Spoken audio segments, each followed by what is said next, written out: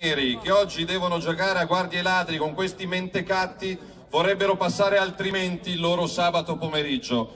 E io spero che chi sta, fra virgolette, contromanifestando a suon di lancio di oggetti e di bombe carta col volto coperto stia in galera per qualche settimana, così magari si rinfresca le idee e prima di tornare in piazza a rompere le scatole ci penserà due volte, Quindi, perché non è democrazia non è libertà, non è rispetto.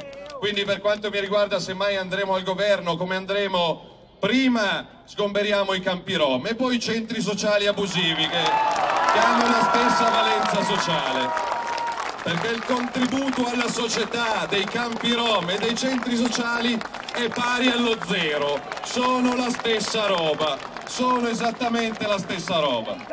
Quindi noi noi, vogliamo, noi stiamo lavorando per un Piemonte normale, per un'Italia normale, non in assetto da guerra, dove la gente faccia una cosa che per qualcuno pare strana, che è lavorare.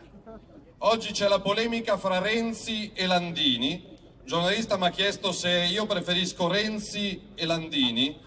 Sono entrambi pessimi perché sono entrambe facce della stessa sinistra medaglia per cui vengono prima i diritti degli altri e solo dopo vengono i diritti degli italiani.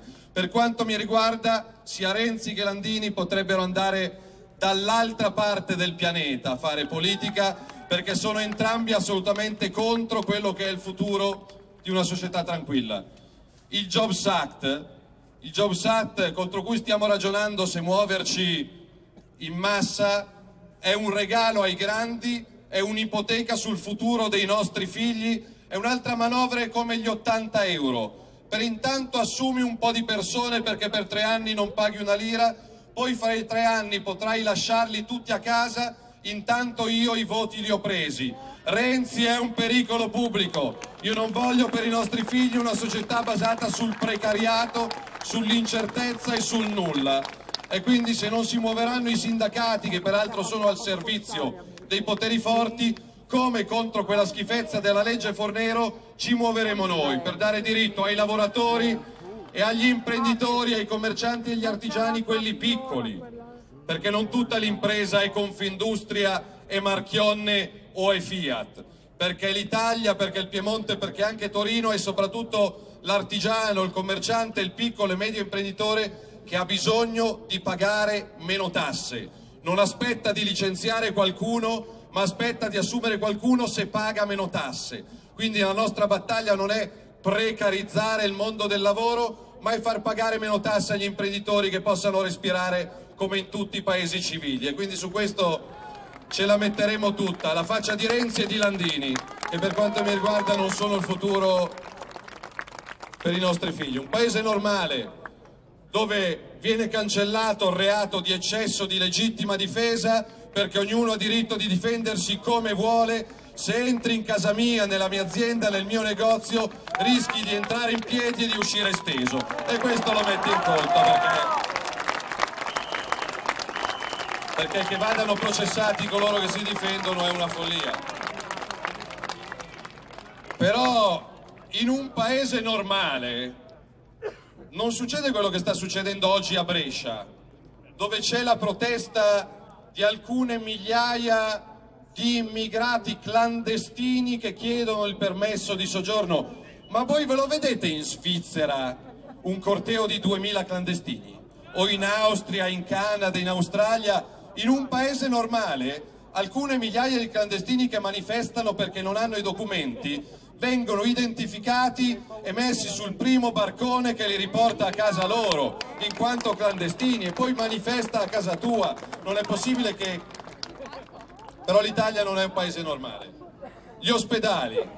Io contesto Chiamparino non per le firme false, su quello saranno i giudici a doversi pronunciare, ammesso e non concesso che a Torino, in Piemonte, ci sia qualche giudice che ha voglia di fare il suo lavoro e di meritarsi lo stipendio a fine mese e questo lo verificheremo nelle prossime settimane. Io a Chiamparino, io a Chiamparino, ragazzi, posso finire? Grazie. Io a Chiamparino contesto il fatto che ha preso i voti promettendo quello che non sta facendo, In Lombardia e in Veneto gli ospedali non solo non li chiudiamo, ma li apriamo la sera e nei fine settimana per ridurre le liste d'attesa e permettere alla gente di andare a farsi visitare anche alle 10 di sera. Se non sei capace di farlo in Piemonte, dimettiti, non rovinare degli ospedali che hanno decenni di storia alle spalle. Quindi Chiamparino se ne deve andare a casa non per le firme, ma perché non è capace di fare il presidente della regione Piemonte. Come Fassino che ho visto che è stato male, a cui faccio i migliori auguri di cuore perché un conto è la politica, un conto è la salute, guarisci come persona, ma politicamente parlando lascia perdere perché fare il sindaco di Torino non è esattamente il tuo mestiere. Quindi piena salute, ma che lasci fare il sindaco a qualcun altro. In un paese normale chi paga le tasse fa il suo lavoro, in un paese normale i taxisti sono liberi di fare i taxisti e le multinazionali vadano a rompere i coglioni da un'altra parte e non nelle città italiane perché se vogliono sfruttare i lavoratori lo facciano da un'altra parte non in Italia. Tante cose ci impegniamo a fare, abbiamo bisogno di voi. Alleati di chi? Non lo so. Io ringrazio chi è in questa piazza, però non ho tempo per eh, occuparmi di alleanze, di equilibri, di alchimie. Noi stiamo portando avanti un progetto di vita, prima ancora di politica, che prevede una Torino diversa, un Piemonte diverso, un'Italia diversa e un'Europa diversa. Quindi chiunque voglia condividere un tratto di strada con noi deve avere ben chiaro che noi siamo alternativi alla concezione della vita che ha la sinistra, per cui viene prima di tutto lo Stato. Chi vuole fare un tratto di strada con la Lega deve aver presente che prima viene l'uomo, viene la donna, viene il cittadino, poi viene lo Stato. Lo Stato ha torto a prescindere quindi l'accertamento fiscale non è l'agenzia delle entrate che lo manda a casa, è il cittadino che deve mandare un accertamento fiscale allo Stato italiano ladro, mafioso e corrotto. È lo Stato che deve dimostrarmi come sta spendendo soldi, i soldi che estorce a chi produce in questo Paese. In uno Stato normale poi a Pasqua è Pasqua e non esiste che ci siano degli, degli insegnanti o dei dirigenti scolastici che impediscono le benedizioni pasquali. A Pasqua è Pasqua, a Natale è Natale e nasce Gesù bambino. Se non ti va bene, andale. Il mondo è grande, il mondo è grande, ma non è un problema religioso, è un problema di rispetto. Perché ieri è stato espulso un altro imam, visto che bisogna, non è un pericolo, non è un pericolo, l'Islam integralista non è un pericolo. Ieri in provincia di Lucca ne hanno preso uno di 30 anni, sposato con un'italiana e con due figli, quindi il classico che in televisione ci direbbero ben integrato, ma come lavora? Fa l'operaio, è sposato con un'italiana, ha due figli. Piccolo problema, si sono accorti che durante i suoi sermoni da imam istigava all'odio etnico-razziale nei confronti dell'Occidente e degli italiani, l'hanno preso di peso e lo espelleranno in Marocco e se uno che dorme come Alfano ritiene che uno sia pericoloso, questo deve essere proprio pericoloso, eh, perché se ci arriva perfino Alfano al fatto che questo è pericoloso vuol dire che questo è pericoloso forte. Quanti ne abbiamo? Quanti ne abbiamo di imam ben integrati come questi in giro per il Piemonte? Dobbiamo aspettare che qualcuno tagli la gola a qualcun altro per renderci conto che bisogna bloccare qualsiasi tipo di immigrazione? E badate bene che noi pensiamo a una società tranquilla. La regione italiana che integra meglio l'immigrazione è il Veneto, dove ci sono 500.000 immigrati per bene, che lavorano, che pagano le tasse, che mandano i figli a scuola e che non rompono le scatole. Il mio problema non è l'immigrato, il mio problema è l'invasione clandestina che porta allo scontro sociale. Io non voglio che sbarchi più un solo immigrato clandestino in Italia. Quando andiamo al governo noi le navi della Marina Militare le usiamo per respingere i barconi, non per andare a prenderli in mezzo al mare, per difendere i confini. Altrimenti che cosa festeggeremo a fare il 24 maggio, il secolo della Grande Guerra?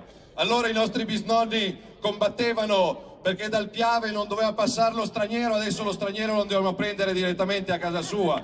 Non esiste, io il 24 maggio tornerò sul Piave, perché i confini vanno difesi, i confini vanno difesi, punto. Sembrano cose straordinarie, sono cose normali. Quindi io vi garantisco l'impegno, l'onestà, la trasparenza, il lavoro, la fatica e voi ci dovete mettere tutto, tutto il resto, ogni giorno, ogni giorno, per ragionare con le persone che sono sfiduciate e che hanno paura. Io la prossima volta che vengo a Torino però non voglio vedere le grate di ferro.